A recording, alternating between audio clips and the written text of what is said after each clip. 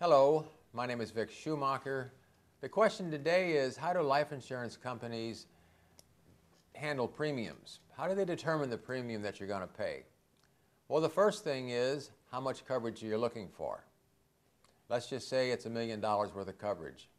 The next question is are you male, female, and what is your age? What section of the country do you live in? What the zip code?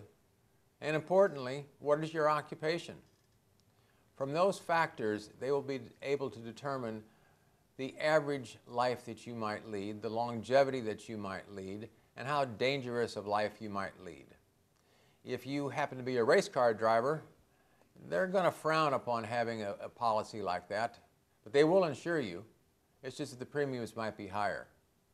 If you are just an average person working on the street at a department store, say, the risk is much smaller. Therefore, they understand that.